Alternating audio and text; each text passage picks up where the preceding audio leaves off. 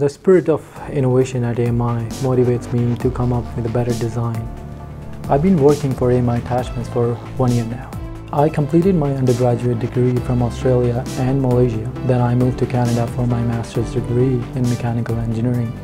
When I finished my program, I decided to stay and work in Canada and I felt like AMI Attachments was a perfect fit for me.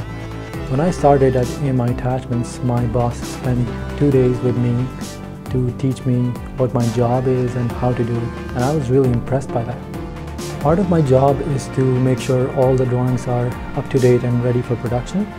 I also work with new designs and new concepts.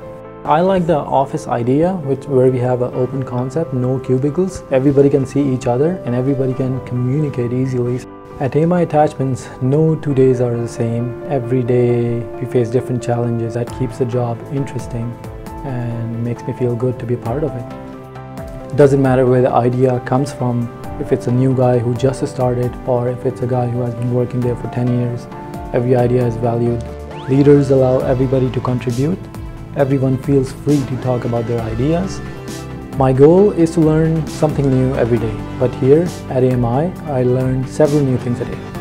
My recent design was a hammer mount the challenge was to get maximum rotation without compromising performance. When I see AMI products at a construction site, I feel proud that I'm part of something bigger. I love working at AMI